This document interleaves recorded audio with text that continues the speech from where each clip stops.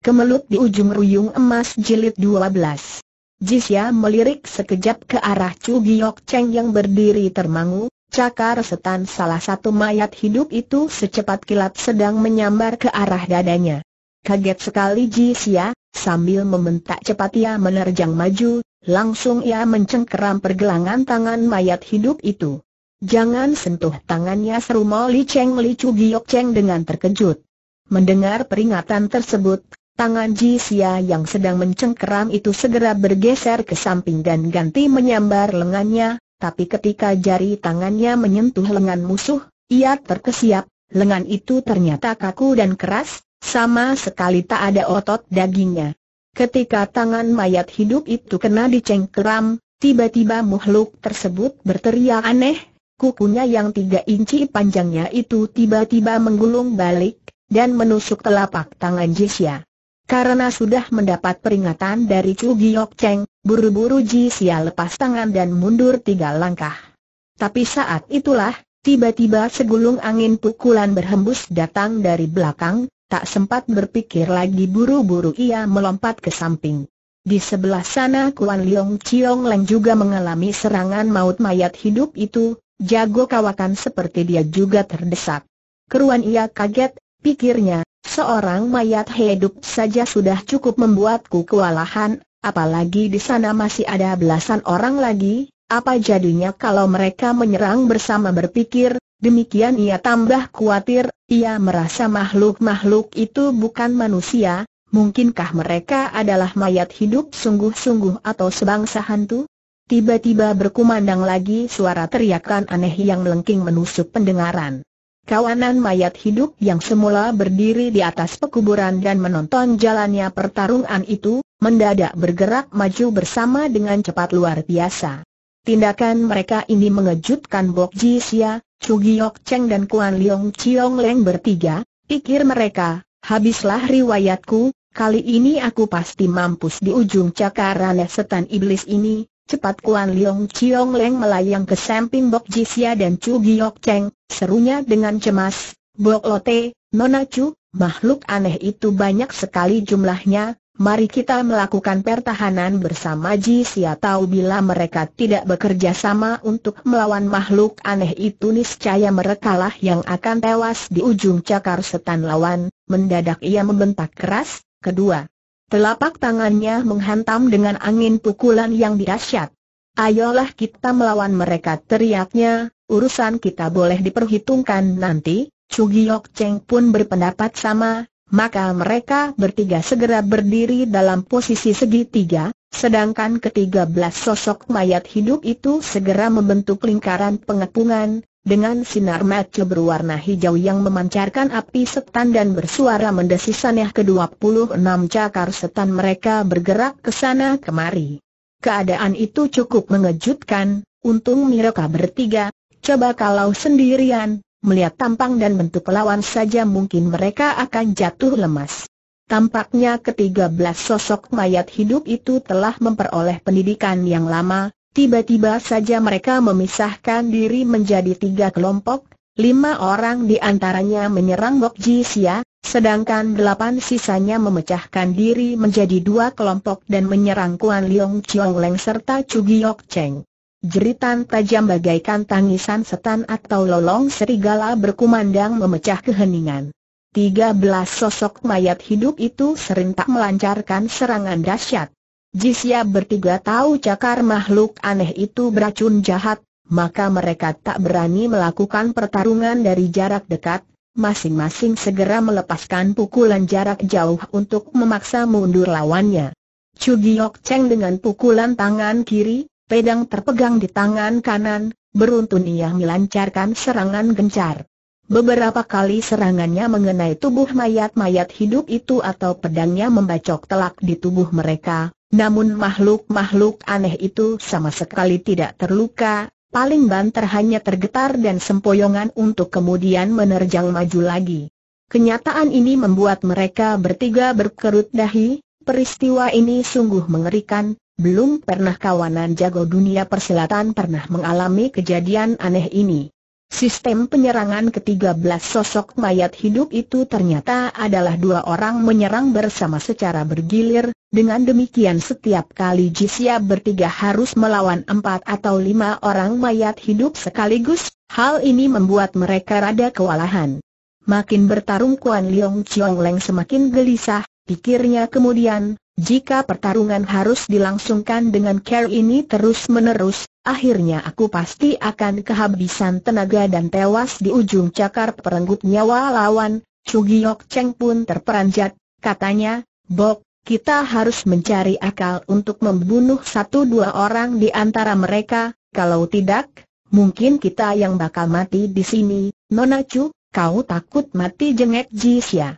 HMM, memangnya kau tak takut mampus setelah melancarkan tiga kali serangan berantai, Kuan Leong Chiong Ling tertawa, katanya, kalau kita harus mati di ujung cakar mereka tanpa mengetahui duduknya perkara, hal ini benar-benar tidak berharga. Tiba-tiba Ji Siap berteriak keras, makhluk-makhluk aneh ini tidak mirip manusia, tapi pasti juga bukan setan iblis, belum habis perkataannya, dua sosok mayat hidup itu menerjang tiba dari kiri dan kanan, Jisya segera membentak, Kedua telapak tangan cepat menghantam.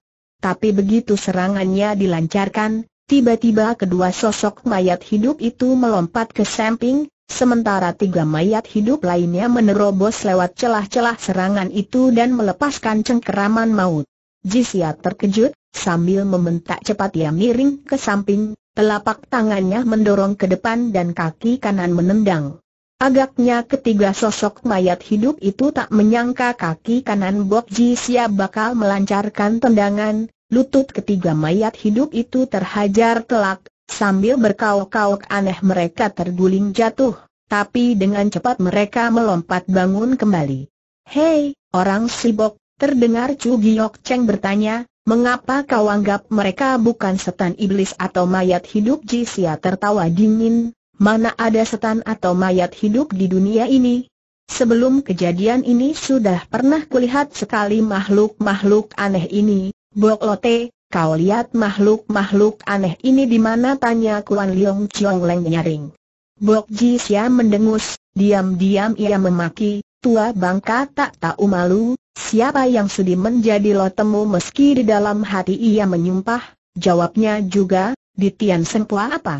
Di benteng Tian Sengpo mendadak Molly Cheng Li Chu Giok Cheng berteriak, Hei orang sibok, konon kau bawa ruyung emas Jian Kim Si Hun Tian yang sanggup memotong emas dan memapas pualam, tajamnya tak kalah daripada pedang mestika atau senjata kelas satu lainnya, kenapa tidak kau gunakan ayah untuk membunuh makhluk aneh ini sekalian membuktikan apakah tubuh mereka yang keras itu mampu menahan ruyung mestimu atau tidak? Jisia tertawa dingin, HMM, sebelum aku mampus, tak nanti ku gunakan ruyung mestika itu, nanti setelah kalian dibunuh mereka baru akan ku gunakan senjata itu untuk membalaskan dendam bagi kalian. Sementara pembicaraan berlangsung, Tiba-tiba ketiga belas mayat hidup itu mengembangkan serangan dahsyat dan gencar, sedemikian hebat serangan itu hingga hampir saja Bok Ji Siap bertiga tak sanggup menahannya. Orang si Bok Molly Cheng mengeluh lagi sambil menghela napas sedih, apakah kau tega menyaksikan kami tewas di ujung cakar maut makhluk-makhluk aneh itu Ji Sia tertawa dingin, belum pernah kusaksikan pertarungan yang lain daripada yang lain ini. Ai, Baiklah. Jika kau tega menyaksikan adegan keji ini, segera akan kuperlihatkan kepadamu, kata Chu Giok Cheng sambil menghela napas sedih. Selesai berkata, mendadak Chu Giok Cheng menghentikan bacokannya, dua orang mayat hidup itu segera berteriak, cakar setan mereka yang panjang menyeramkan segera menyambar gadis itu. Kaget Ji Sia, cepat teriaknya, Nona Chu, lekas, tapi Gugiok Cheng tidak bergerak maupun berkelit, ini menyebabkan Ji Sia amat gelisah, sambil membentak, kedua telapak tangannya menghantam ke depan. Tapi kelima mayat hidup yang berada di dekat Taya serentak berpekik aneh, secepat kilat minerjang pemuda itu. Jisya bersiul nyaring, cepat tangan kanan Niraba Jian Kim Si Hun Pian, cahaya emas segera terpancar ke empat penjuru. Menyusul terdengarlah serentetan jeritan ngeri yang membetot Sukma, ruyung emas Jian Kim Si Hun Pian di tangan Bok Ji Sia telah menyambar kelima mayat hidup itu dengan kecepatan luar biasa. Pada saat itulah, tiba-tiba terdengar pekikan aneh seperti tangisan setan, seperti pula lolong serigala berkumandang. Menggema angkasa. Bagaikan kuda yang lepas tali kendali, ketiga belas mayat hidup itu serentak melompat ke belakang, termasuk kelima mayat hidup yang menyerang Bok Jisya. Setelah itu, ketiga belas sosok mayat hidup itu berdiri berjajar di hadapan Bok Jisya, mata mereka yang hijau dan memancarkan api setan itu melototi senjata Jian Hem Si Humpian di tangan Bok Jisya. Pelahan Chu Giok Cheng dan Kuan Leong Chiong Leng menarik napas panjang, mereka pun mengawasi Ruyung Jian Kim Si Hun Tian yang digelai setiap umat persilatan itu tanpa berkedip.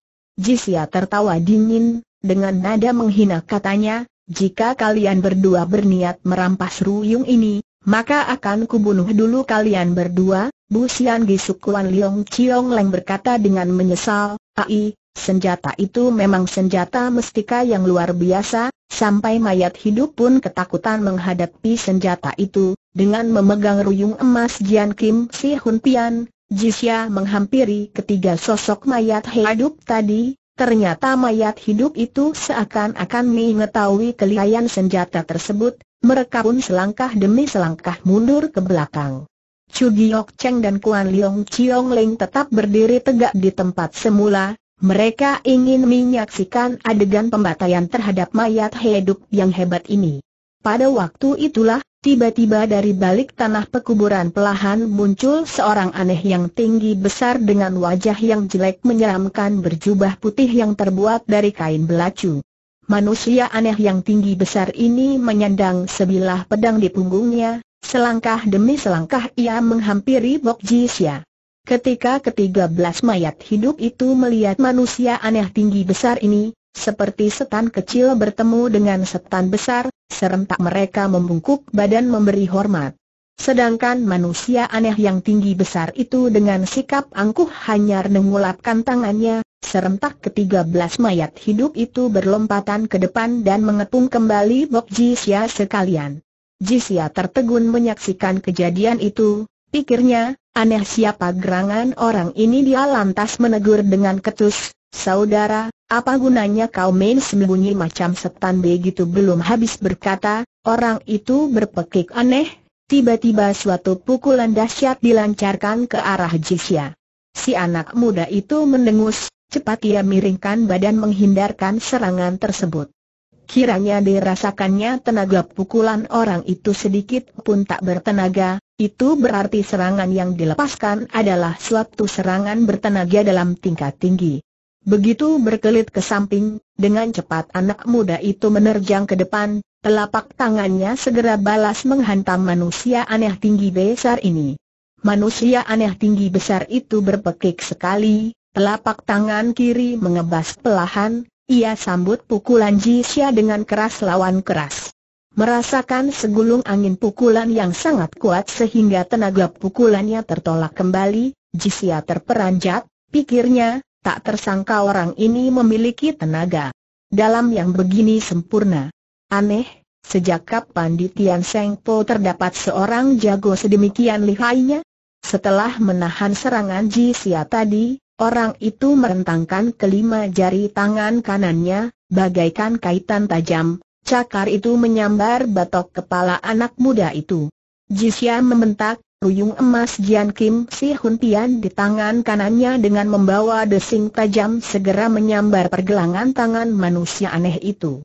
Cepat orang itu menarik kembali tangan kanannya yang sedang mencengkeram itu, lalu bagaikan hantu ia menyelinap ke samping kiri anak muda itu. Jisya merasakan pandangannya menjadi kabur, tahu-tahu urat nadi pada pergelangan tangannya menjadi kaku, kena dicengkeram lawan. Tak terkirakan rasa kagetnya, sungguh tak disangkanya di dalam dunia persilatan terdapat jago tangguh ini, buru-buru ia menghimpun tenaga ke tangan kanan hingga lengan menjadi sekeras baja. Agaknya manusia aneh tinggi besar itu pun terperanjat, Tiba-tiba saja ia merasakan munculnya tenaga yang menerjang keluar dari pergelangan tangan lawan, hampir saja cengkeramannya terlepas. Ia tak mengira Bok Jisya memiliki tenaga dalam sedemikian sempurna. Molly Cheng Li Chu Giok Cheng khawatir ruyung emas Jian Kim Si Hun Tian di tangan Bok Jisya akan dirampas orang, ia pun membentak, pedangnya membawa beribu titik bintang langsung menabas dari samping. Manusia tinggi besar itu mengayun tangan kanannya ke depan, dengan angin pukulan yang dahsyat ia menyongsong serangan si Nona. Segera Chu Giok Cheng merasakan tenaga pukulan lawan sungguh maha dahsyat dan belum pernah dijumpainya, hampir saja pedangnya terlepas dari cekalan, buru-buru ia urungkan serangan dan melompat mundur. Setelah memukul mundur lawan, Manusia aneh tinggi besar itu memutar telapak tangan kanannya satu lingkaran, kemudian menyodok ke dada Jisya itu. Dengan cekatan Jisya menangkis pukulan itu, lalu dengan jurus KHI Soh Poliong, tali aneh membelenggu naga, dia berbalik meraih pergelangan tangan lawan. Lepas tangan tiba-tiba manusia aneh itu membentak. Dengusan tertahan berkomandang, dengan sempoyongan Bok Jisya mundur dua tiga langkah ke belakang, tapi ruyung emas Jian Kim Si Hun Tiannya masih bisa dipertahankan. Agaknya pihak lawan juga terperanjat oleh tenaga getaran yang dipancarkan oleh Jisya, ia merasa ilmu silat pemuda itu sungguh luar biasa.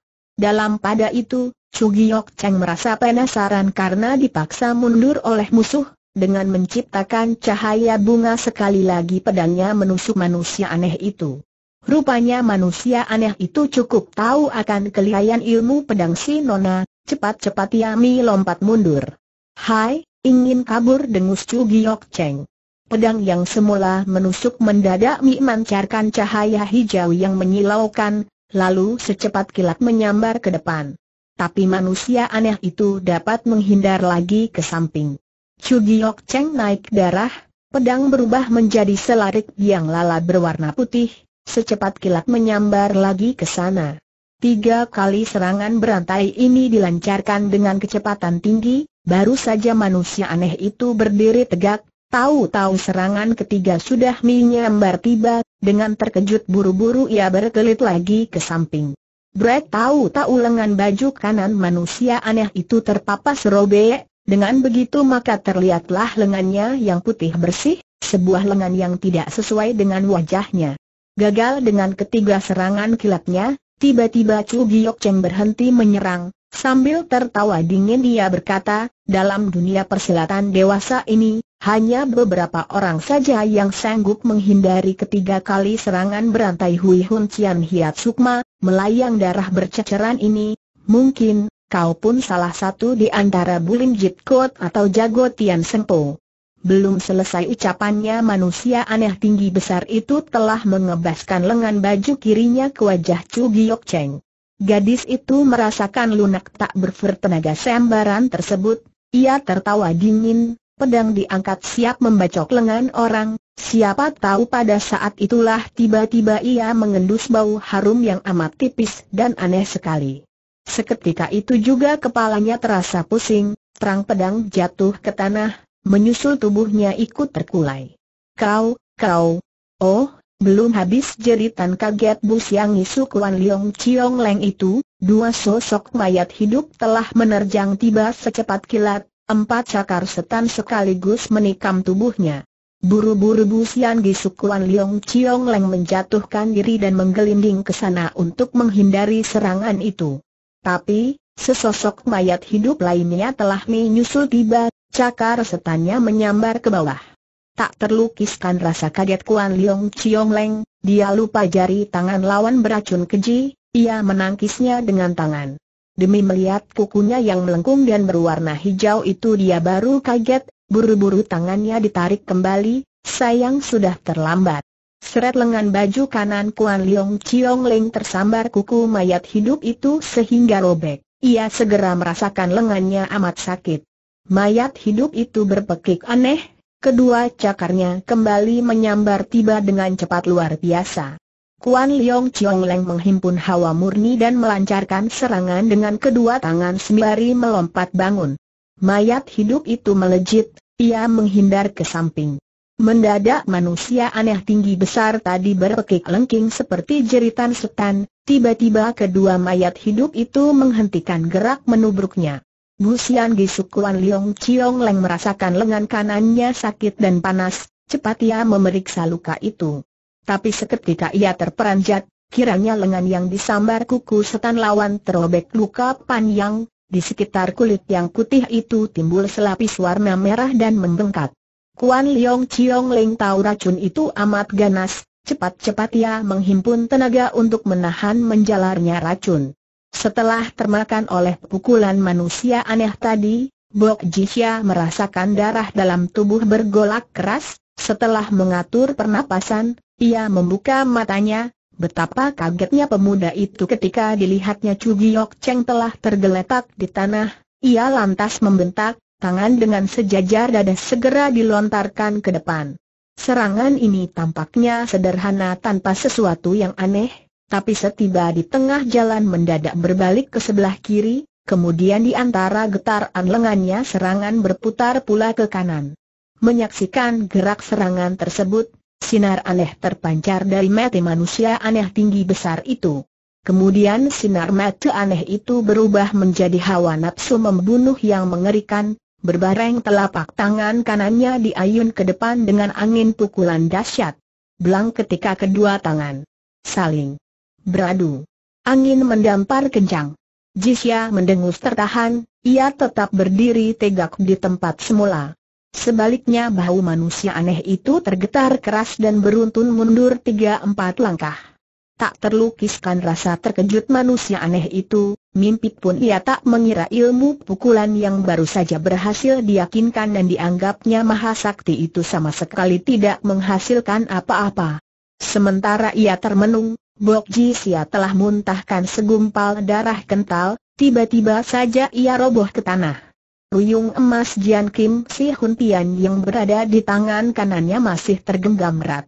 Perlu diterangkan bahwa ilmu pukulan yang dilancarkan manusia aneh itu adalah ilmu silat paling jahat dalam dunia persilatan yang disebut Busyang Im Hukut, pukulan dingin pembusuk tulang, ketika dilancarkan sama sekali tidak membawa kekuatan yang mengerikan.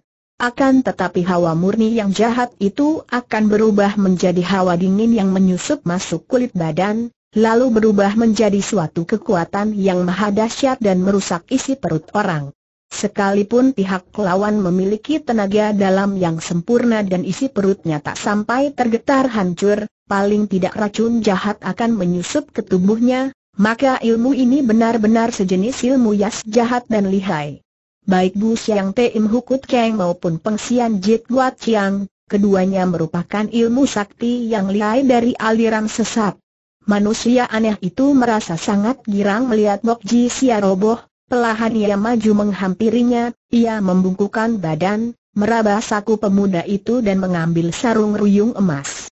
Begitu berhasil dengan usahanya ia lantas mendongakkan kepala dan berpekik nyaring, Secepat kilat ia kabur ke tanah pekuburan.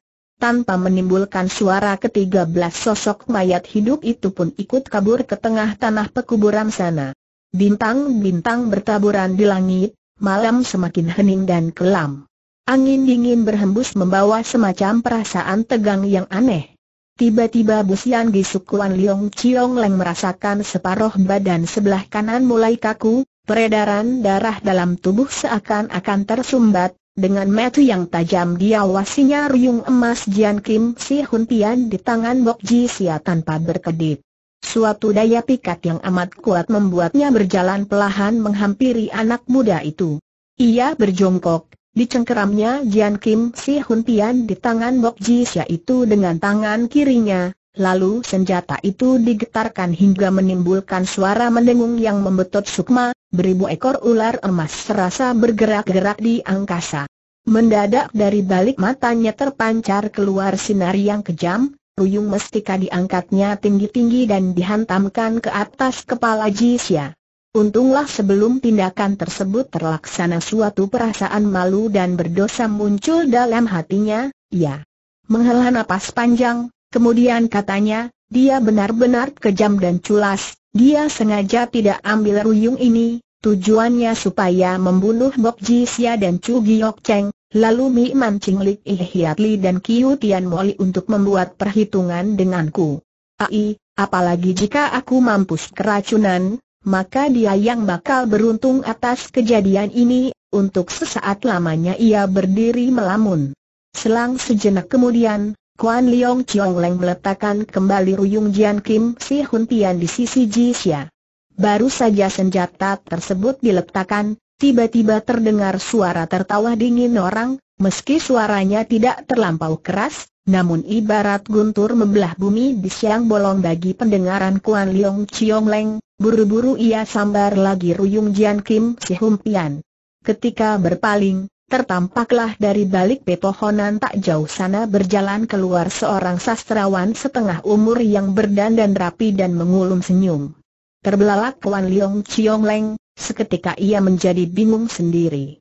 Terdengar sastrawan setengah umur itu tertawa terbahak-bahak, lalu menyapa, Saudara Kuan Leong, senjata apakah yang kau pegang itu bagaikan baru mendusin dari mimpi Busian Gisu tersentak kaget, ia tanya dengan ragu. Saudara Oh, jadi tadi bukan kau ternyata sastrawan setengah umur ini adalah saudara kandung Tian Kang Teset Sengguat Kiam Oh Kegak, yakni Sengguat Kiam, pedang bintang rembulan, Oh Ketian.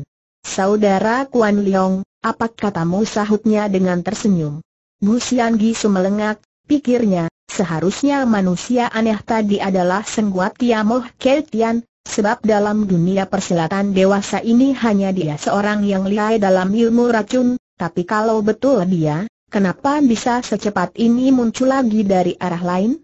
Masakah ilmu meringankan tubuhnya telah mencapai tingkatan yang luar biasa? Berpikir demikian, Kuan Leong Chiong Leng lantas menghela napas panjang, katanya, Saudara Oh, selamanya kita tak pernah berselisih paham, Kenapa Kenapakah sergap diriku? Oh Tian tertawa dingin, Saudara Kuan Liong, aku benar-benar tidak mengerti dengan perkataanmu. Tolong tanya apakah benda yang berada di tanganmu itu adalah Jian Kim Si Hun Tian Saudara. Oh, buat apa kau berlagak pilon? Sekarang aku sudah keracunan, paling banter aku hanya akan hidup beberapa jam saja di dunia ini, dari ucapan ini samar-samar terungkap rasa sedihnya menghadapi kematian. Sementara itu, Sengguat Kiamoh Kerian sudah tiba di hadapan Kuan Leong Chiong Leng, sambil menjulurkan tangan kanan dan tertawa ia berkata, Saudara Kuan Leong, bolehkah ku pinjam ruyungmu itu saudara Oh? Ruyung ini sudah menjadi milikmu, kalau mau, ambil saja tiba-tiba Sengguat Kiamoh Kerian menarik kembali tangan kanannya, lalu berkata, jika saudara Kuan Leong berkata demikian, aku tak jadi melihat ruyung itu saudara oh, kata Kuan Leong Chiong Leng dengan sedih, tindak tandukmu sungguh membuat orang marah, saudara Kuan Leong, teguranmu boleh dibilang teguran pertama yang dilontarkan orang persilatan kepadaku seru Oh Kerian sambil tertawa dingin. Bu Sian Gisu menghela napas, Sejak dulu sampai sekarang, orang yang licik dan berakal busuk selalu tak mendapatkan akhir yang baik, begitu pula dengan diriku, hanya akhir yang mengenaskan yang akan kuperoleh. Kini nyawaku sudah berada di tanganmu, terserah hukuman apa yang hendak kau jatuhkan kepadaku. Oh Kerian tersenyum, ucapan saudara Kuan Leong terlalu serius, apabila kau mau, aku bersedia menyembuhkan racunmu, mendengar itu, Semangat Busian Gisukuan Leong Chiong Leng terbangkit, bagaimanapun manusia memang ingin hidup daripada mati, meskipun akhirnya manusia itu harus mati, tapi siapakah orang di dunia ini yang tak suka hidup kecuali sudah putus asa dan tiada harapan lagi. Sekarang, Kuan Leong Chiong Leng menemukan setitik sinar harapan untuk hidup, sudah barang tentu, ia tak mau melepaskannya, walaupun dengan jelas, ia tahu musuh tak akan menyembuhkan lukanya secara gratis, bahkan mungkin tindakannya disertai suatu rencana atau intrik jahat, akan tetapi setitik harapan untuk hidup itu tak pernah ia lepaskan. Maka Bu Gisu menghela, napas sedih, asal saudara Oh sanggup menyembuhkan racunku ini, apa pun yang kau minta silakan bicara saja, Sengguat Kiamoh Ketian tertawa terbahak-bahak, ha, ha, ha, saudara Kuan Leong memang orang pintar, aku memang ada satu permintaan, cuma boleh dibicarakan setelah ku sembuhkan racunmu nanti. Nah, sekarang perlihatkan dulu lukamu itu, terpaksa Kuan Leong Chiong Leng menggulung lengan baju sebelah kanan yang robek, ketika lengan itu diperiksa ternyata warna merah bengkak di sekitar luka telah lenyap, namun sekarang muncul bintik-bintik merah yang banyak. Hal ini amat mencengangkan hatinya, pikirnya, ketika keracunan tadi, tampaknya racun itu sangat lihai, kenapa sebelum diberi obat warna merahnya yang membengkak sudah lenyap dengan sendirinya? Lagi pula separuh badanku tadi terasa kaku, kenapa sekarang sudah menjadi normal kembali sementara ia melamun? Oh Ketian telah berkata dengan tersenyum, Saudara Kuan Leong, Kau anggap lenyapnya bengkak merah di lenganmu pertanda luka itu telah sembuh mendengar pertanyaan itu, Bu Sian Gisukuan Leong Chiong Leng membungkam tanpa menjawab. Padahal inilah pertanda racun jahat itu sudah merasuk ke dalam darah di tubuhmu, tujuh hari kemudian racun itu akan bekerja, sekujur tubuhmu akan membusuk dan mati. Untung masih sempat diobati. Nah, urusan jangan tertunda lagi, Aku segera turun tangan mengobati lukamu ini, dipegangnya persendian tulang sikut kanannya, kemudian ia keluarkan sebatang jarum perak dan menusuknya beberapa kali pada jalan darah lengan kanan Kuan Leong Chiong Leng. Setelah itu, ia perlihatkan jarum perak itu kepada Kuan Leong Chiong Leng dan berkata, Coba lihat, bukankah jarum perak ini telah berubah menjadi hitam melihat jarum itu berubah menjadi hitam, Diam-diam Kuan Leong Chiong Leng menghela napas, pikirnya, sungguh lihai sekali racunnya. Ai, orang ini jauh lebih keji daripadaku, entah intrik busuk apa yang hendak ia lakukan kepadaku waktu itu Sengguat Kiamoh Ketian telah mengeluarkan lagi sebatang jarum perak lain yang putih bersih, lalu dengan ujung jarum itu dia mirobek bintik-bintik merah, Setetes darah kental yang berwarna merah hitam meleleh keluar dan menetes ke tanah. Dalam waktu singkat, seluruh lengan Kuan Leong Chiong Leng berlepotan darah berwarna merah hitam itu. Lamat-lamat ia pun mengendus bau mis busuk dari darah hitam itu, diam-diam ia terkejut sekali oleh kehebatan racun itu.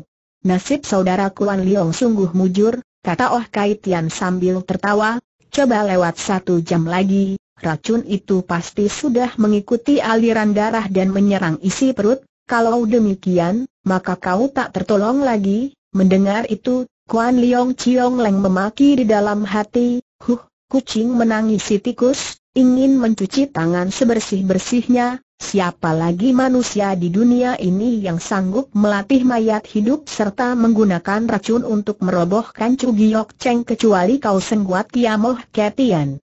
Wahai Oh Kerian suatu hari aku pun akan membuat kau masuk perangkapku. Dalam hati ia menyumpah, di mulut katanya, terima kasih saudara Oh atas bantuanmu, entah apa permintaanmu, katakanlah Oh Kerian menyimpan jarum peraknya lalu tangan kanan mengeluarkan sebuah botol kecil berwarna putih dan mengambil dua biji pil berwarna merah.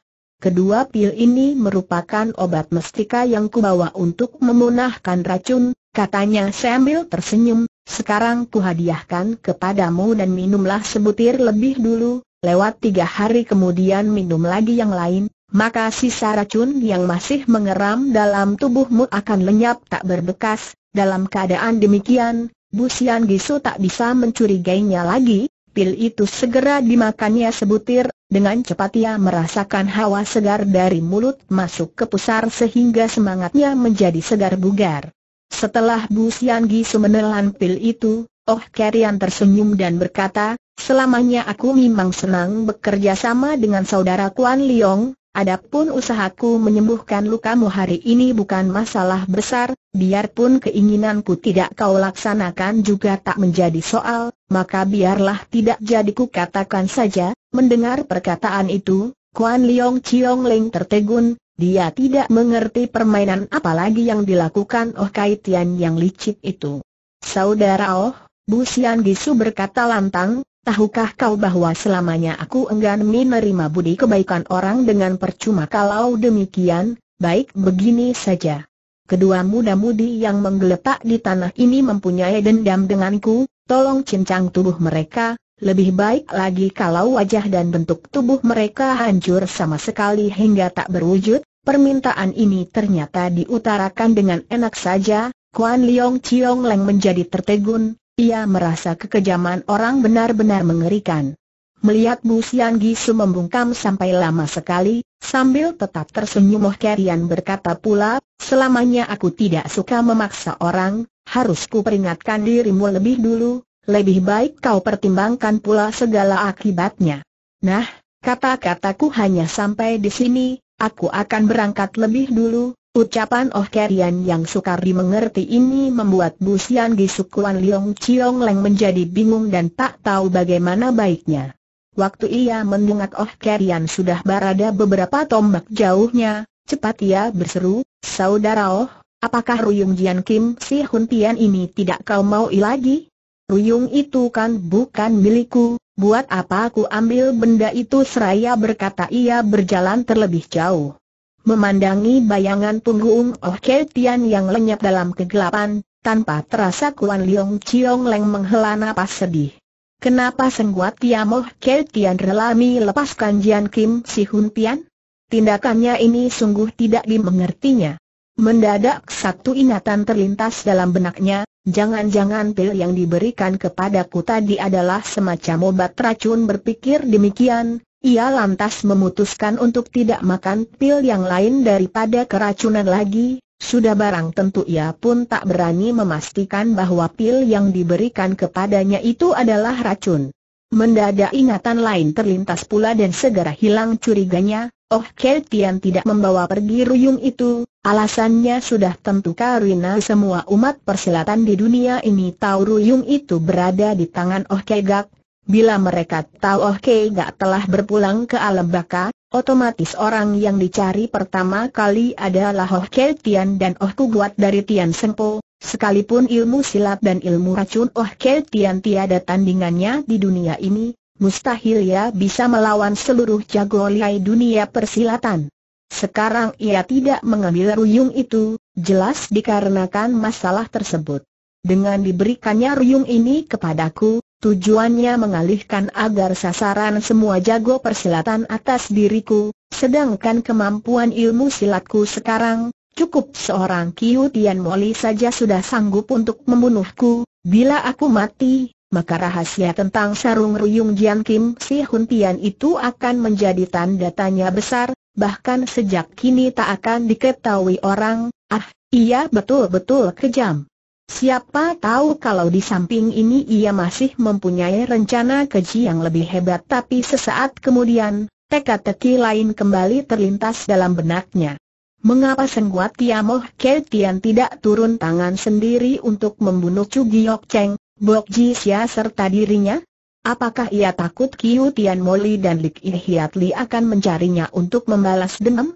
Tentu saja hal ini pun mungkin, tapi jelas bukan sebab yang utama, Lantas karena apa?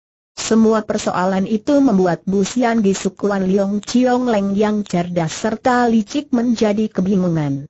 Bila ingin memecahkan teka-teka ini, maka manusia aneh tinggi besar tadi berarti bukan Sengguat Tiamoh Ketian, padahal tak mungkin, sebab orang itu jelas adalah dia, umpama bukan dia pasti juga orang suruhannya.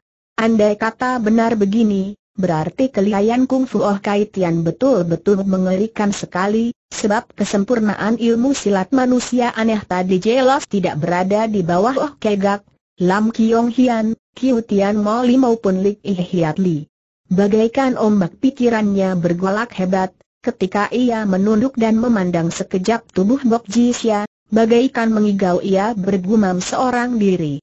Dapatkah ku tentang hati nurani sendiri dan melaksanakan perintah Oh Ketian? Haruskah ku bunuh mereka? Bila ku bunuh mereka apa pula akibatnya terhadapku? Kalau tidak ku bunuh apa pula yang terjadi Busian Gisu Kuan Leong Chiong Leng menggenggam Ruyung Jian Kim Si Huntian itu kencang-kencang sambil menatap tubuh Bok Ji Sia dan merenungkan pelbagai persoalan itu. Tiba-tiba ia berpendapat tidak sepantasnya mereka dibunuh. Sebab bagaimanapun juga dulunya dia bukanlah seorang licik dan keji. Mengapa selama tiga empat tahun belakangan ini watak sendiri bisa berubah menjadi begini licik dan jahat semua ini tak lain karena musibah yang telah menimpa adik angkatnya, kematian yang mengenaskan segenap anggota keluarganya. Ia hendak membalas dendam bagi kematian adik angkatnya, ia pikir dendam tersebut hanya bisa dibalas dengan carry yang keji, Tentu saja ia pun sadar kepandaian sendiri masih belum cukup untuk membalas dendam bagi adik angkatnya, maka dia harus mempergunakan akal, bila mana perlu menggunakan siasat keji untuk mewujudkan cita-citanya. Sekali lagi Kuan Leong Chiong Leng menghela napas, Pelahan ia taruh kembali ruyung emas Jian Kim Si Hun Tian di sisi tubuh Bok Ji Xia. Pada saat itulah tiba-tiba sebuah telapak tangan putih halus menyambar ruyung emas Jian Kim Si Hun Tian dengan cepat biar biasa. Untunglah Bu Sian Gisuk Kuan Leong Chiong Leng bertindak cekatan, kaki kirinya sempat mendepak ruyung itu sehingga mencelat dan menancap tanah.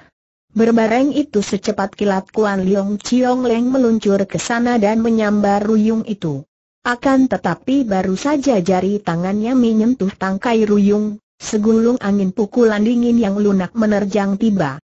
Kuan Leong Chiong Leng sudah berpengalaman luas, dengan cepat ia menyadari akan kehebatan angin dingin itu, segera ia melayang mundur dan terlolos dari ancaman itu.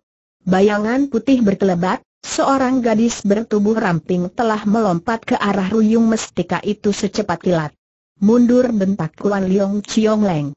Telapak tangannya segera didorong ke depan. Berbareng dengan serangan itu, tangan yang lain sudah menyambar gagang ruyung dan mencabutnya. Oleh karena tertumbuk oleh tenaga pukulan tadi, gerakan si nona baju putih menjadi tertahan, ia tak rela melihat ruyung itu jatuh ke tangan Kuan Leong Chiong Leng, sambil membentak ia menerjang maju lagi, kedua telapak tangannya melepaskan pukulan dahsyat. Oleh karena gerak tubuh musuh terlampau cepat, Kuan Leong Chiong Ling tak sempat melihat jelas raut wajah penyerangnya. Tapi ia dapat merasakan kelihayan serangan lawan, sambil membentak marah ruyung diputar kencang, cahaya emas segera terpancar ke empat penjuru dengan deru angin tajam. Tiba-tiba terdengar seorang berseru dengan suara merdu, Enci Pekset, ruyung itu sangat tajam, jangan disambut dengan kekerasan nona berbaju putih itu mendengus, terpaksa ia menahan gerak majunya. Setelah berhasil memaksa mundur musuh, Kuan Leong Chiong Leng menyapu pandang sekejap sekeliling tempat itu. Dilihatnya tidak jauh di samping kiri berdiri dua orang gadis, mereka adalah nona berbaju biru berkerudung dan pedi, si genit dari Hek Leong Kang. Sedangkan gadis yang tepat berdiri di hadapannya tak lain adalah Tuk Set yang dingin dan angkauha itu. Terkesiap hatinya, ia pikir, wah, bisa repot. Bila bertemu dengan tiga gadis aneh dari Hak Leong Kang ini, mungkin ruyung ini tak bisa ku pertahankan lagi, dengan sinar mata yang tajam dan menggidikkan hati, Tuk Set menatap wajah Kuan Leong Chiong Leng lekat-lekat, kemudian dengan nada dingin katanya, ruyung emas Jian Kim Si Hun Tian adalah benda milik Hek Leong Kang kami, ayo cepat serahkan kepada kami, kalau tidak akan kubikin kau mampus tanpa terkubur.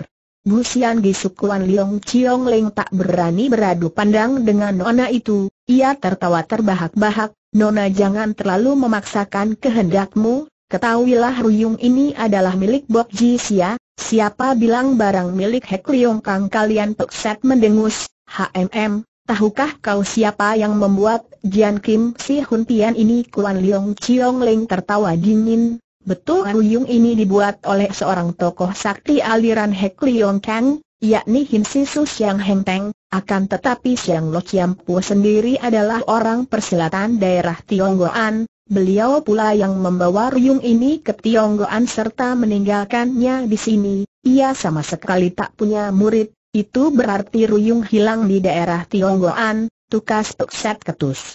Kembali Kuan Leong Chiong Ling tersenyum, ruyung ini sudah bersejarah 300 tahun, bagaimana jalannya peristiwa ini kita sebagai orang angkatan muda tak akan mengetahuinya, maka barang siapa mendapatkan ruyung ini, dialah pemiliknya, Nona baju biru bercadar itu melirik sekejap Bok Ji Sia yang menggeletak di tanah itu dengan sorot mata lembut. Kemudian ia tanya, apakah kau Yao mencelakai di Anona? Seru Kuan Leong Chiong Leng dengan perasaan bergetar, kalau tidak menyaksikan dengan mata kepala sendiri, janganlah sembarangan bicara, Nona bercadar itu tertawa cekikik dengan suara yang merdu bagaikan kicau burung.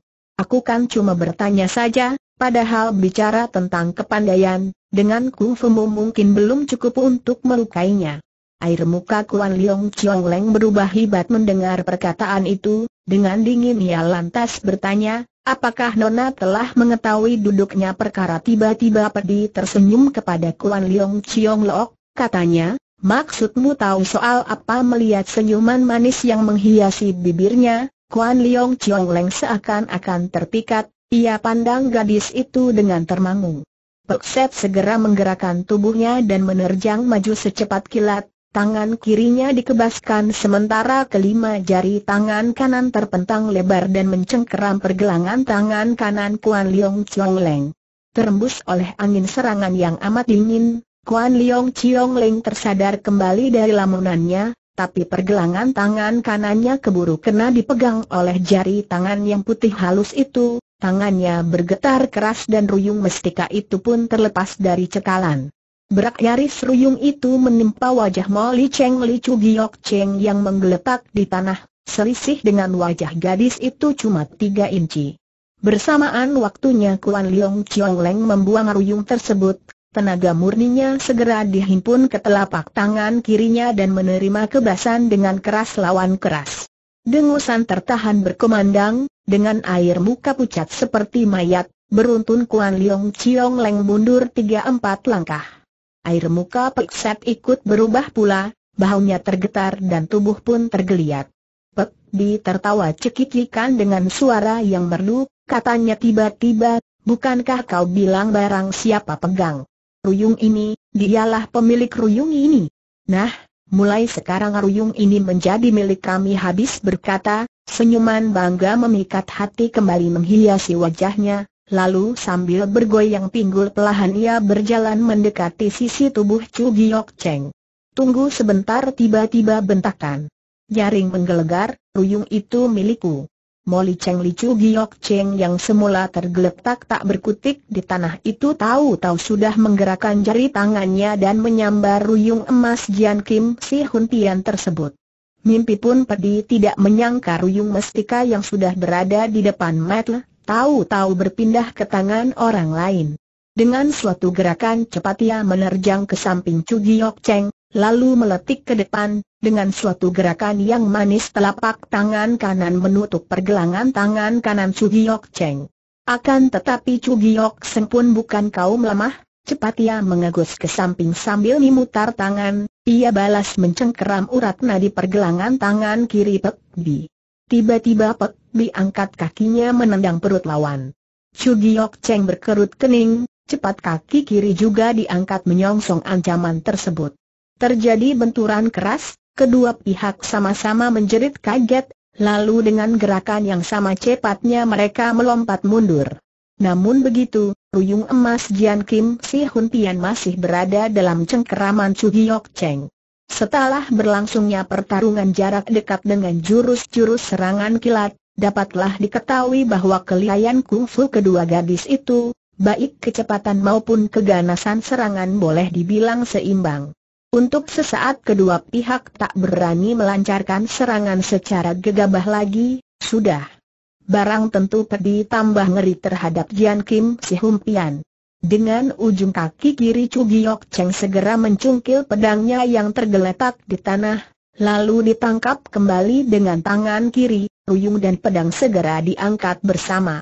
Nama besar tiga gadis dari Hak Leong Kang memang tidak bernama kosong belaka, demikian ia berkata sambil tertawa dingin, tapi kalian mesti tahu, di antara yang tangguh masih ada yang lebih tangguh lagi, dengan langkah lemah gemulai si nona baju biru bercadar itu pelahan maju ke depan, serunya dengan merdu, Hei, siapa kau ini?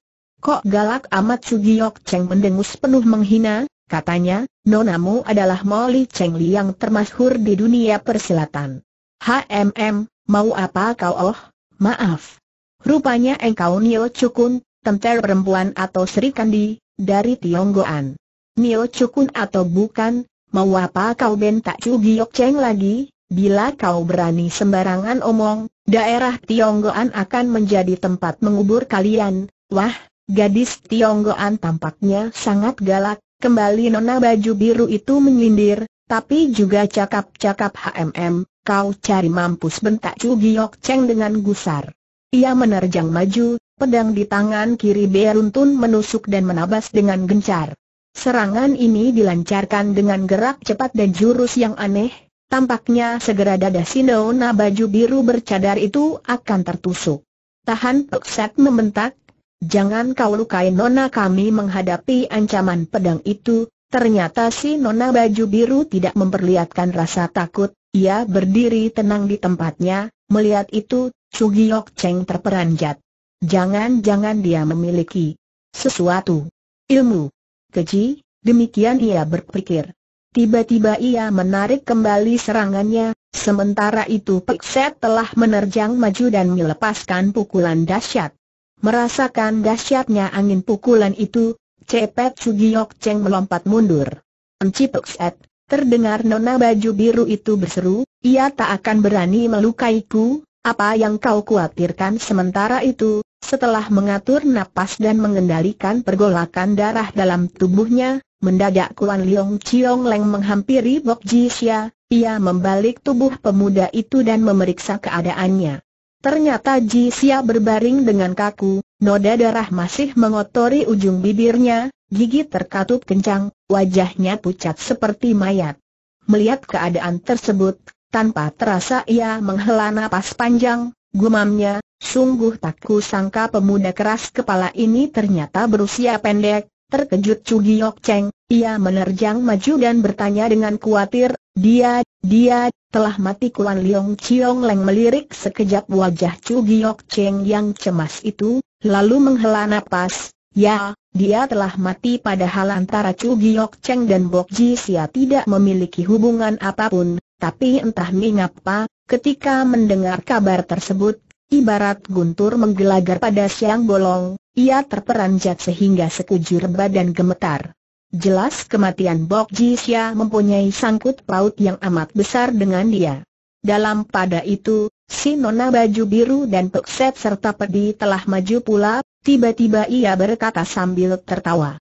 Kedua cici, entah ada hubungan apa Bok Ji Xia dengan dia, kenapa ia begitu sedih gusar sekali? Chu Giok Cheng mendengar ucapan itu, bentaknya, dia sahabatku, apa urusannya denganmu?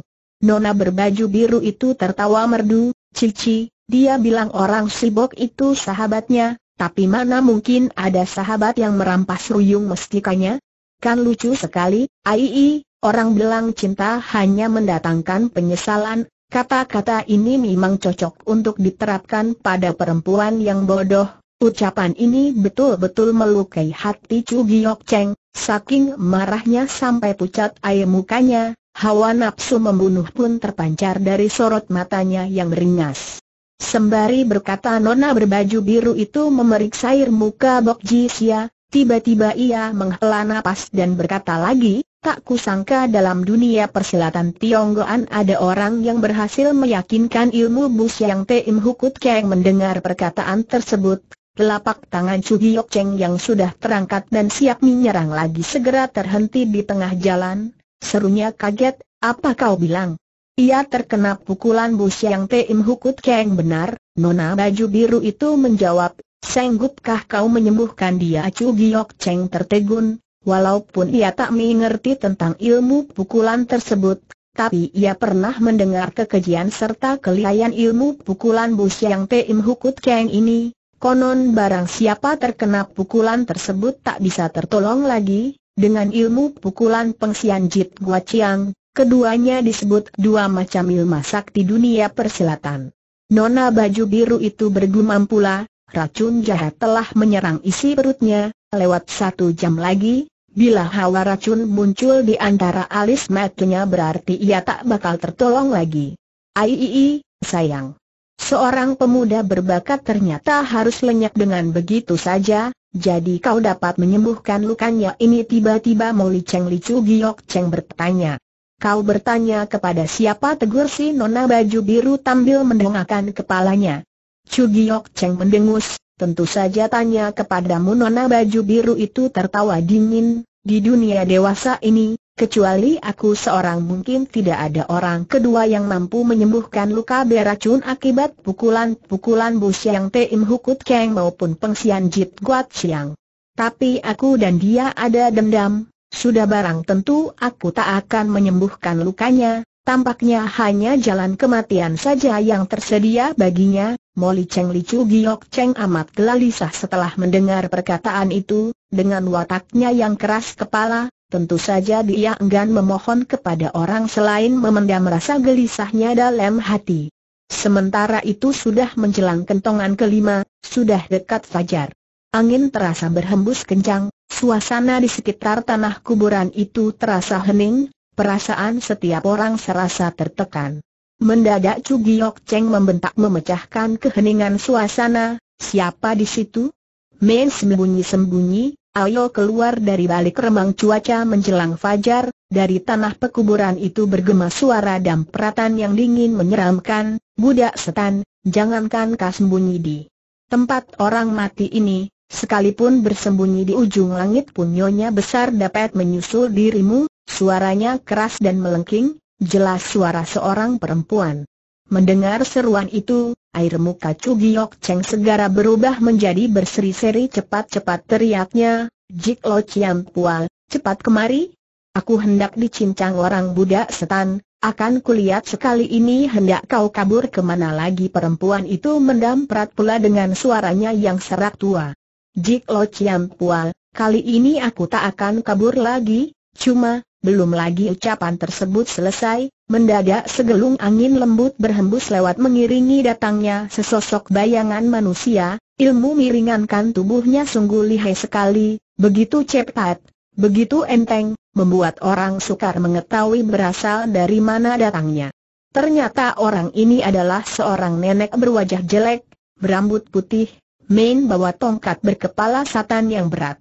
Ketika muncul, Tongkat itu diketukan ke tanah sehingga berbunyi terang budak setan, cuma apa? Ayo cepat teruskan teriak nenek itu. Sementara itu Bu Sian Gisukuan Leong Chiong Leng juga terperanjat karena munculnya nenek jelek ini, pikirnya, kenapa makhluk tua ini pun muncul pula dalam dunia persilatan. Agaknya Bulim Jit Kot benar-benar hendak melaksanakan janji mereka pada 18 tahun yang lalu, Tiba-tiba terdengar si nona baju biru tadi tertawa cekikikan, kemudian berkata, kedua cici, coba kalian tebak siapakah orang ini. Kenapa tampangnya sama dengan dia? Gemetar badan Chu Giok Cheng mendengar kata-kata itu, bentaknya gusar, perempuan siluman, memangnya kau cantik kiranya wajah Molly Cheng Li Chu Giok Cheng tidak terhitung cantik, sekalipun kulit badannya terhitung menarik, Sayang sekali wajahnya yang putih itu banyak bintik-bintik hitam. Sebagai seorang gadis, soal cantik atau jelek tentu saja merupakan masalah yang penting. Betul selama ini Chu Giok Cheng tidak terlalu memperhatikan soal air muka, tapi sindiran nona berbaju biru itu sungguh amat menusuk perasaannya. Apalagi sejak ia berjumpa dengan Bok Ji Sia, tanpa disadari telah timbul rasa rendah diri karena wajahnya yang cacat itu. Maka setelah dihina oleh nona baju biru itu, pucatlah wajahnya karena marah, di tengah bentakan keras, ruyung emas Jian Kim Si Huntian segera diputar menjadi selapis cahaya emas, langsung menyambar muka si nona baju biru.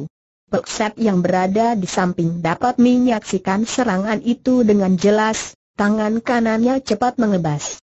Chu Giok Cheng segera merasakan tibanya angin pukulan yang lembut tapi hebat menembus lingkaran cahaya emas Jian Kim Si Huntian dan mengancam tempat berbahaya di tubuhnya, ia terperanjat, sambil berkelit ke samping serangan ruyungnya tetap dilanjutkan. Cahaya emas yang terpancar dari Jian Kim Si Huntian dengan tajamnya menerobos ke depan. Pek Set tahu betapa lihainya ruyung mestika itu, sementara serangannya dilancarkan tadi, tangan yang lain telah menyambar tubuh nona berbaju biru itu dan memaksanya mundur dua langkah. Dalam keadaan gusar, Chu Giok Cheng enggan memperhatikan keadaan sekitarnya lagi, ketika dilihatnya Pekset menyurut mundur, pedang di tangan kirinya secepat kilat menusuk ke depan. Kombinasi serangannya antara pedang dan ruyung ini dilakukan dengan manis, baru saja Pekset dan Nona baju biru itu berdiri tegak, Cahaya pedang tahu-tahu sudah menyambar tiba. Sudah barang tentu Pedi tidak diam saja, pada saat Chu Giok Cheng melancarkan serangan dengan ruyung tadi, ia bergeser ke tempat yang tepat, seakan-akan ia sudah menduga ke mana Chu Giok Cheng akan menyerang. Maka waktu tusukan pedang gadis itu menyambar tiba, dengan cepat tangan kirinya bergerak, dengan tiga jari tangan ia mengancam tiga jalan darah penting di tubuh Chu Giok Cheng. Chu Giok Cheng amat terperanjat, pikirnya. Sangguh angin serangan yang tajam dengan cepat dia mengegos, kemudian pedang di tangan kiri berputar di tengah jalan dan berbalik menabas lengan kiri Pek Bi. Pek Bi tertawa cekikikan dengan genit, ketiga tutukan tadi mendadak berubah menjadi jurus serangan yang aneh, kali ini ia menyambar pergelangan tangan lawan. Menang kalah dalam pertarungan antar sesama jago liai, biasanya hanya ditentukan dalam sekejap mata. Ketika Chu Giok Cheng mendengar suara tertawa genit, tanpa terasa ia memandang wajah orang, tiba-tiba saja hatinya bergetar, serangannya menjadi lamban, dan sedikit meleng saja mengakibatkan kerugian yang amat besar. Tiba-tiba urat nadi pergelang au tangannya terasa kaku, Tahu-tahu sudah dicengkeram oleh tangan kiri Pek pedangnya yang menabas otomatis juga jatuh ke tanah. Dengan pelahan tangan kanan Pek menyambar pedang yang terjatuh itu, kemudian dengan senyuman yang memikat ia menggerakkan pedang rampasan dan menusuk ulu hati Chu Giok Cheng. Kemampuannya membunuh orang dengan senyuman memikat ini betul-betul suatu perbuatan yang keji, membuat siapa pun yang menyaksikan jadi merinding.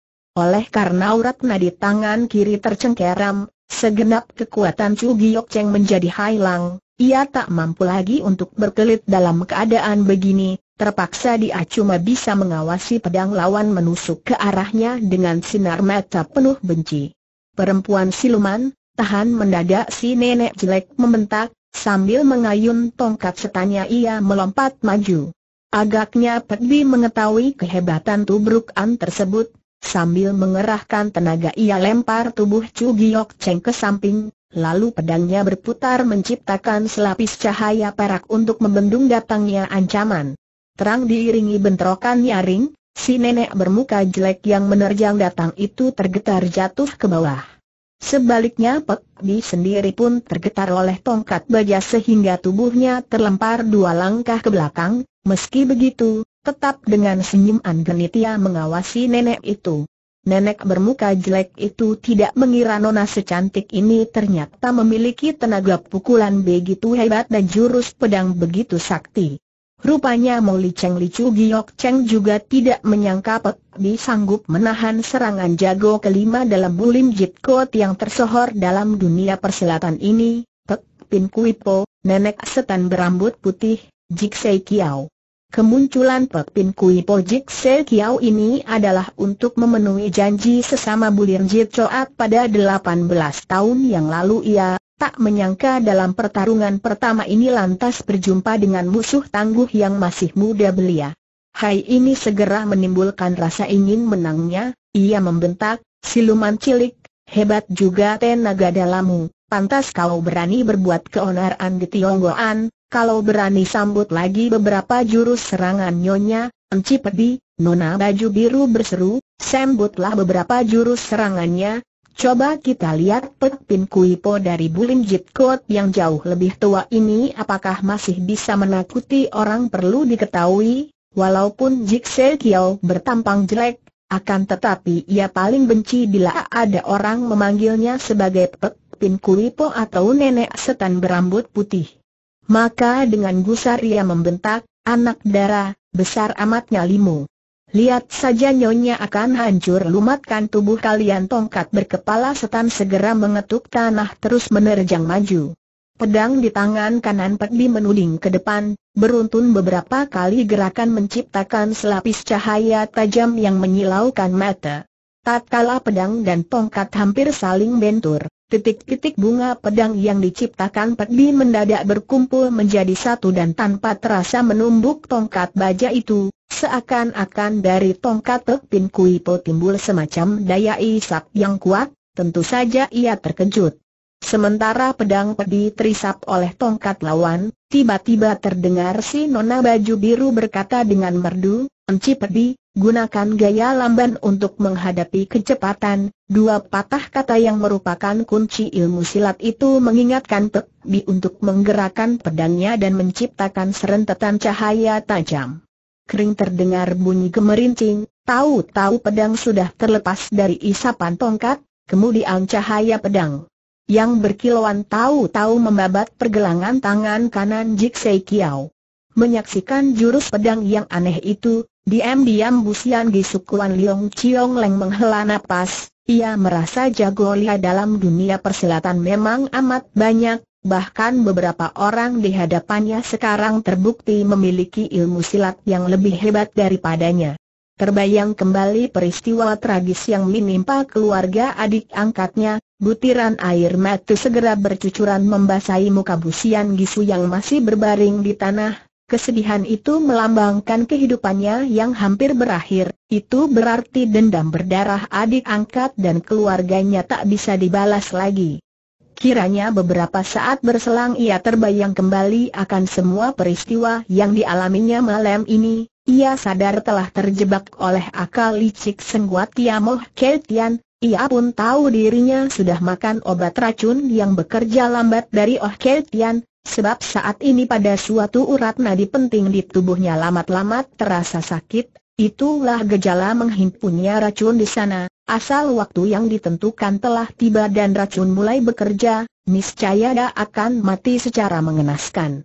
Dalam pada itu, Pin Kui Pojik Se Kiao pun terkejut, sambil membentak tongkat diputar untuk menggetar pergi pedang pedi, setelah itu tongkat disodokkan ke jalan darah Hian Ki Hiat di tubuh nona itu. Buru-buru pedi melompat mundur untuk menghindarkan diri, kemudian pedangnya menciptakan cahaya kuntum bunga dan balas menyerang pula. Jurus pedangnya cepat dan ganas, perubahannya banyak, setelah menyerang beberapa kali, Pin Kuipo terdesak sehingga hilang kemampuannya melancar ke serangan balasan. Sesudah bertempur beberapa gebrakan, tiba-tiba Pek Bi merasakan munculnya arus tenaga kuat dan tongkat Pek Pin Kuipo yang lamat-lamat mengandung tenaga isapan, akibatnya gerak pedang sendiri terpengaruh besar, jurus-jurus tangguhnya tak lancar dikembangkan, malahan terus terdesak di bawah angin. Molly Cheng Li Chu Giok Cheng yang menonton jalannya pertarungan dari tepi kalangan juga merasakan Jik Sei Kiao sedang mempergunakan semacam ilmu permainan tongkat yang lihai, akibatnya ilmu pedang aliran Hek Liong Kang yang dimainkan gadis Pek Bi menjadi mati kutu.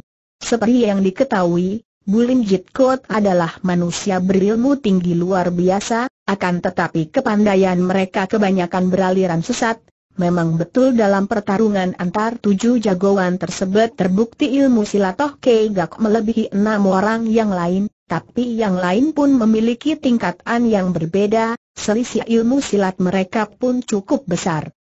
Pin Kui Pojik Sekyu adalah jago nomor lima dalam Bulin Jit Code, sudah barang tentu ilmu silatnya lebih tangguh setingkat daripada si Hun Koai Set Jil maupun Hian Tian Koan Chu Kun Tun Chin Jin.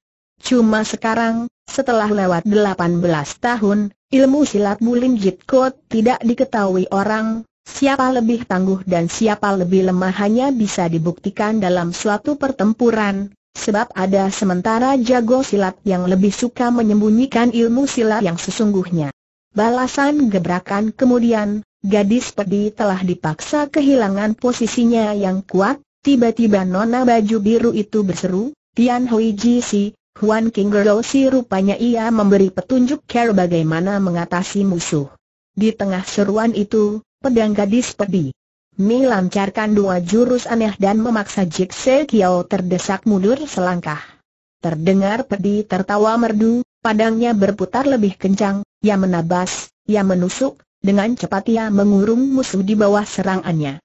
Jurus serangannya ganas dan mematikan, Pin Kui Pojik Se Kiao yang terhitung jago kenamaan sampai terdesak hingga kalang kabut dan tak mampu balas menyerang lagi. Kejadian ini kontan menimbulkan rasa terkejut Chu Giok Cheng serta Kuan Leong Chiong Leng, menurut perkiraan mereka semula, apalagi waktu Chu Giok Cheng menusuk nona berbaju biru itu, Kepandaian nona baju biru itu kelihatannya lebih rendah daripada Pekset maupun Pedi. Tapi kenyataannya sekarang, hanya dengan menyebut kunci ilmu silat ia telah membawa Pedi dari kalah menjadi menang, malahan berhasil mendesak Jik Sei Kiau menjadi kalang kabut. Kenyataan ini membuat mereka harus memberi penilaian yang baru atas kemampuan gadis baju biru itu terutama Bu Sian Gisukuan Leong Chiong Leng diam-diam ia menghela napas, pikirnya, sudah jelas nona baju biru ini memiliki ilmu silat yang sangat tinggi, bahkan setiap gerakannya sanggup mencabut nyawa orang, kenapa ia tidak bertarung sendiri dengan orang lain? Entah apa sebabnya sementara ia termenung, tiba-tiba dari arah belakang berhembus lewat angin yang berbau harum. Dengan penuh kewaspadaan Kuan Leong Chiong Leng berpaling, sinar mata yang tajam mendidikan sedang mengawasinya, keruan ia terperanjat dan menyurut mundur dua langkah. Ternyata lebih kurang tiga kaki di sisinya berdiri seorang perempuan berbaju hijau dan bercadar, dia bukan lain adalah Lik Hiat yang mulai termasyhur namanya baru-baru ini. Ditatap dengan sorot mata yang bengis dan tajam itu, Kuan Leong Chiong Ling terkesiap dan ngeri. Ia terluka oleh siapa tegur Lik Hiat dengan dingin. Kuan Leong Chiong Ling berpikir, apakah aku harus mengatakan bahwa ia dicelakai oleh Sengguat Tiamoh Kaitian dari Tian Sengpo belum lagi ia mengambil kuputuaan, tiba-tiba terdengar si nona baju biru berseru merdu, Enci Pedi, jangan bertarung lagi, aku sudah dapat menilai tingkat ilmu silatnya, tapi ketika itu pertarungan sedang berlangsung sengit, terutama Pek Pin Kui Pojik Se Kiao yang jadi murka, tongkatnya dimainkan sedemikian rupa hingga menimbulkan deru angin keras, beberapa jurus serangan kejah membuat Pek Bi Sukar mengundurkan diri.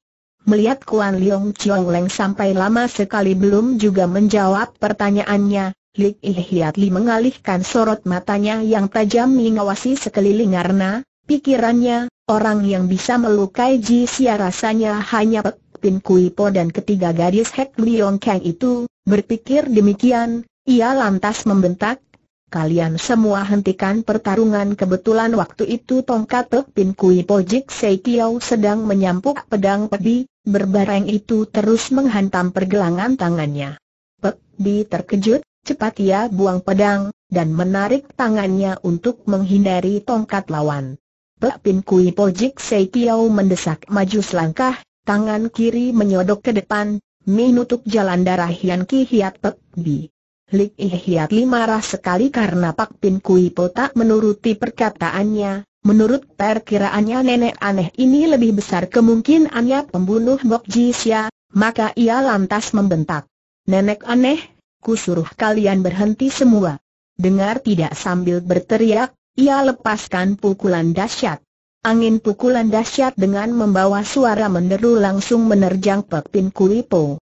Dengan gaya yang tak berubah Pepin Kuipo putar tongkatnya ke arah pedi, jari tangan yang lain terus menutup Hian Ki Hia tangan kirinya, kemudian secara tiba-tiba ia ubah gerak tangannya mendorong ke samping, menyambut pukulan Lik Hiat Li itu dengan keras lawan keras.